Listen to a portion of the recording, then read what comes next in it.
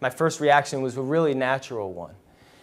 It was to be really struck by the, by the deprivation and the pain of the place, um, by the images like this one. Uh, now, just imagine for a moment that you're the parents of a young girl like this. And you know, you're living in an area that's smaller than your average bedroom, your entire family. The noises never stop. They never stop because it's just so dense. And right outside your doorstep is something that could, could not only make your daughter sick, but also endanger her life. Well, I think it's natural in, in, in circumstances like these to, to feel pity and to really feel a little bit overwhelmed by the conditions. And I certainly felt like that in the early days. Still do in some respects. But I started talking with young people who were my age and uh, having some real conversations. And what I realized pretty shortly was that they weren't looking for pity, many of them. Um, and they sort of taught me something, something fundamental, uh, something that came to form the ethos of the organization that we created together. And that is that talent is universal, but opportunity is not. You know, talent's universal, but opportunity is not. And this really struck me most profoundly with one of my neighbors. I'd like to tell you a little bit about her. This is Tabitha. Um, she was 34 when I first met her, widow with three kids. And she was living in a 10 by 10 near where I was staying. And towards the end of the summer, she confronted me. She said, You know, you're asking all of these kids about their problems. I got problems too. And you never bother to ask me about my life, so sit down. I'm going to tell you a little bit about my life. I said, Okay, mama.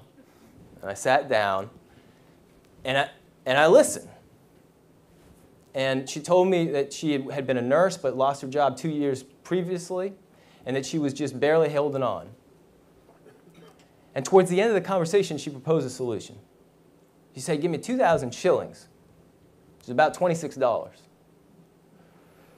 Now, I've made a habit of not giving out money in Kibera, in part for my own safety, in part because I just didn't know where to begin. Um, so I asked her what she was planning to do with it, and she said, well, I'm going to buy veggies. I'm going to buy vegetables here in Kibera. I'm going to sell them across town in Eastleigh, a Somali community where I can undercut the competition, and they don't crack down on hawkers for not having licenses. And oh, by the way, those licenses cost 5,000 shillings. So she said, invest in me once again. And you know, she had a plan. She knew the microeconomics. She had a plan. There was conviction in her voice, and you know, what the heck. It was just 26 bucks. So I handed Tabitha the funds. I handed her the funds and I handed her something else. It was a, a kanga. kangas are, are, brightly colored sheets with Swahili aphorisms. And this is for an excerpt from the summer of 2000. At that moment, I was 20 years old. Tabitha refolded the kanga with great care, reminding me of my military color guard detail in college, when we slowly lowered our flag and folded it into a tight triangle for the night's watch. It was a good day, and I admired Tabitha. I doubted that I could live with such strength and dignity if I found myself in Kibera alone with no job and three children. This is the Tabitha Clinic today. It treats over 40,000 patients a year. It has two medical doctors, Kenyan medical doctors. It all started with $26. $26 in the hands of a remarkable person, working in partnership together with concerned outsiders, taking the long view. This is when talent meets opportunity. This is the power of 26. Thank you.